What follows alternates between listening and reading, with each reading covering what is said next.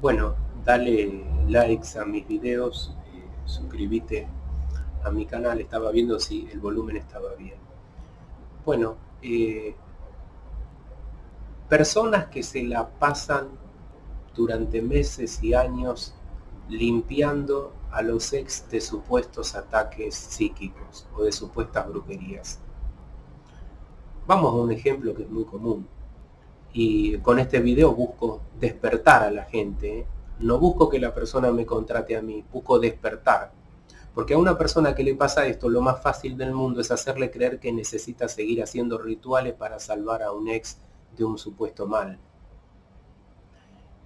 despertar es, distinto. Em, empezar a darse cuenta que quizá los movimientos que uno ha venido haciendo durante meses o años, lo único que han hecho es que tú pierdas energía, es que pierdas tiempo y es que sigas bloqueada o bloqueado. Vamos a un ejemplo. Mi ex me dejó hace un año, bien. Yo sé que me dejó por brujería. Ok, ¿qué más? Dígame. Entonces no paro de limpiarlo. Él me dijo igual que no me ama, que no vuelve más. Entonces eso es muy claro también. Y aunque no te lo diga, a veces es muy claro, la mayoría de las veces, el 90% es muy claro cuando alguien no te ama, no se comporta con amor, quizá nunca lo ha hecho y no va a volver más de una manera amorosa, quizá va a volver a usarte, que es distinto. Y entonces, y entonces sé que no vuelve más, pero yo porque amo a esta persona voy a limpiarlo de toda la brujería que lo ha alejado de mí, que le han hecho, porque lo hago por amor y cómo está su vida bloqueada.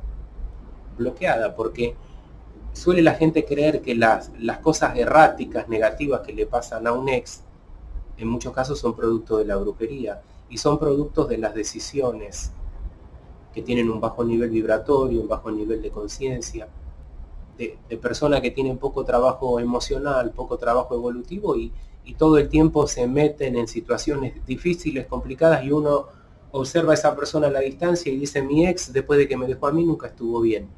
Entonces debe ser la brujería, la misma brujería con la que lo alejaron de mí. Y yo te digo que vos no estás viendo, que vos no estás viendo que si la persona sigue así, es por una cuestión de falta de evolución, de inteligencia, desarrollo de inteligencia emocional, elevar la vibración, no sé, se le puede decir de mil maneras distintas entonces la persona no aprende y reincide y reincide, cada vez está peor. Entonces tú crees que estás haciendo el trabajo de, Dios, de decir, de lo, lo, voy a liberar, lo voy a ayudar. Entonces tú estás poniendo tiempo y energía en función de un ex que no te registra, no te ama y ni siquiera él o ella están así por brujería, sino por ellos mismos y eso lo único que te va a provocar es bloqueo. Y estos son temas de los cuales no hablan las personas que hacen mi trabajo, no hablan de esto. Porque es más fácil hablar de, si tu ex está mal, te lo sacaron con brujería, entonces tú tienes la obligación, como lo amas, de, limpiarlo. Y en eso está el deseo interior de que si lo limpia la persona vuelva. Entonces es más fácil hablar de eso y que la gente lo entienda. ¿Por qué? Porque eh, cuando se dicen las cosas en función de lo que deseamos escuchar, probablemente enseguida eh, la mayoría de la gente entienda que y le parezca que es real, que eso es lo adecuado y que hay que hacer rituales. Y en todo caso los rituales tienen que estar destinados a liberarte, a, desacordonarte de tu ex, no a seguir insistiendo con lo mismo. Cuando uno quiere ayudar a alguien, uno tiene que estar bien. Si tu vida no funciona en ningún nivel, eh, discúlpame, ¿y a quién quieres vos ayudar? ¿Dónde, ¿Dónde quieres utilizar tu energía si en vez de utilizarla en algún proceso creativo para traer una nueva vida, lo estás utilizando en un ex que no te registra? Y, hay muchas personas que son terapeutas que, les pasa esto y que están absolutamente, eh, le voy a decir la palabra en argentino, emperrados u obsesionados con que tienen la misión de salvar al ex, salvarlo de su propia ignorancia a tu ex. Pero para salvar a alguien de su propia ignorancia hay que ayudar a instruirlo, no hacerle rituales para quitarle los ataques psíquicos y esto y lo otro. Una vez una persona me dijo algo muy, muy interesante. Entiendo todo lo que dice usted, pero yo ayudo a mi ex a pesar de que no vuelve más porque siento que es lo que tengo que hacer, porque es mi naturaleza ayudar, proteger. me parece muy bien. Me parece muy bien. Pero estaría mucho mejor si eso viene acompañado porque tú que piensas y dices esto, tu vida funciona en todos los niveles. Funciona bien tu mente, tus emociones, tu energía. No te estás desequilibrando todos los días diciendo mi misión es ayudar. Tu primera misión es estar bien tú en la vida. Estar bien. Si no, uno no va a hacer ninguna ayuda efectiva sobre nadie. Si no se puede, si no puede uno comenzar por uno mismo. Eh, volvamos a lo que me dijo la persona. Mi misión en la vida es ayudar. Yo ayudo a toda la persona que se cruce por mi camino y cómo no voy a ayudar a un ex, el cual ha sido muy significativo para mí. Perfecto. Y mi vida funciona. Supongámonos, perfecto, está bien, no está bloqueada, bueno. Entonces cerciorémonos de cuáles son las causas reales por, qué, por las cuales tú deberías estar ayudando a tu ex. Si es por un ataque psíquico o si es porque la persona no evoluciona, está bloqueada, está trabada por sus propias decisiones, por su propio entendimiento limitado de la vida. Porque esta, esta es la gran causa que la gente que hace el trabajo que hago yo no habla. Tomamos decisiones, tenemos una visión a veces muy limitada de las cosas, poco trabajo emocional.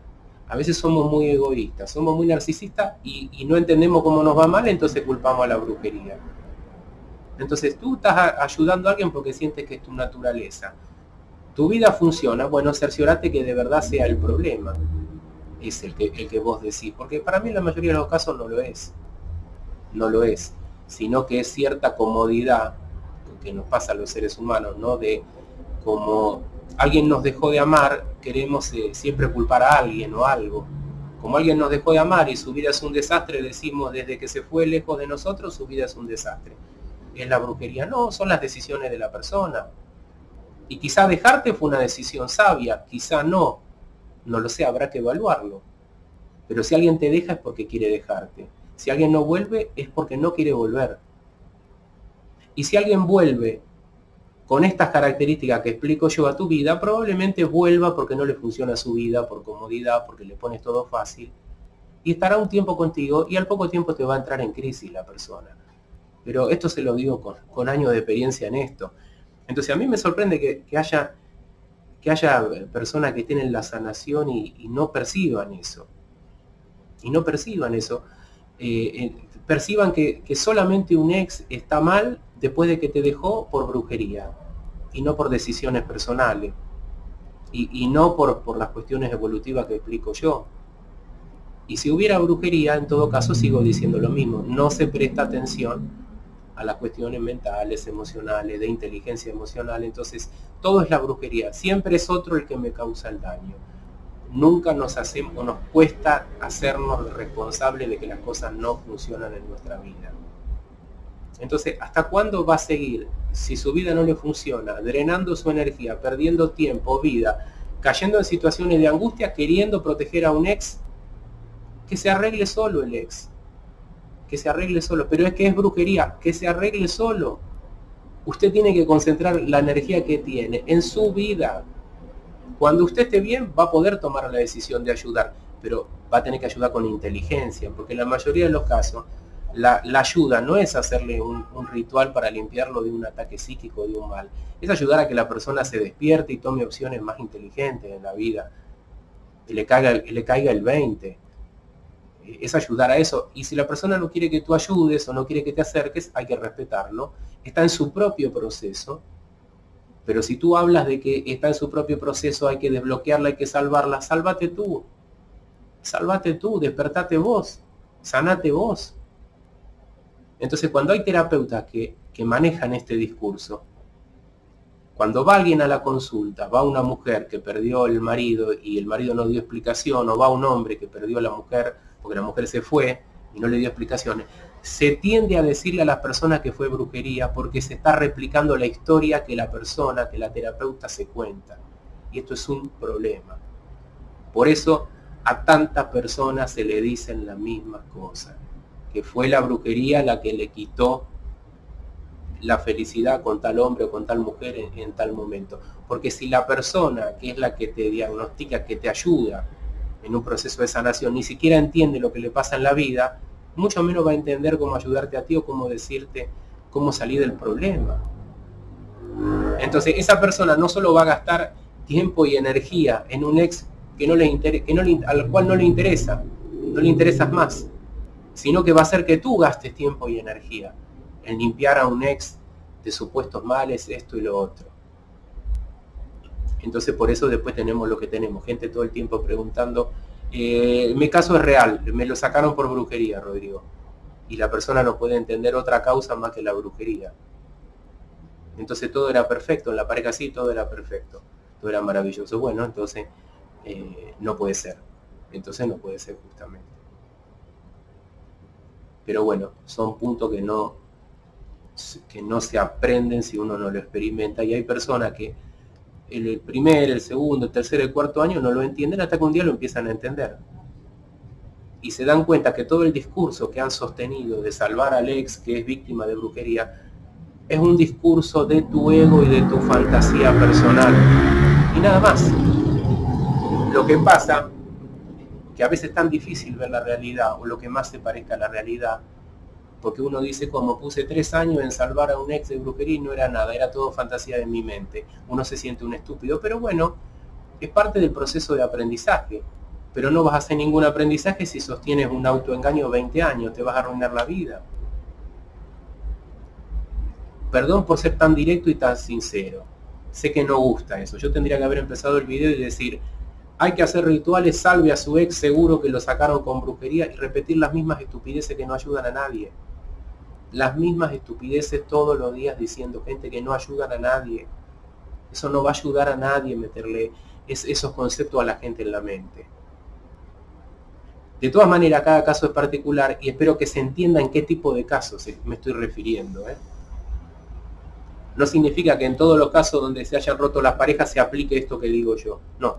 En determinados casos donde las personas están obsesionadas por la limpieza de un ex y ese ex está claro que no vuelve más. Y que si vuelve no vuelve con amor.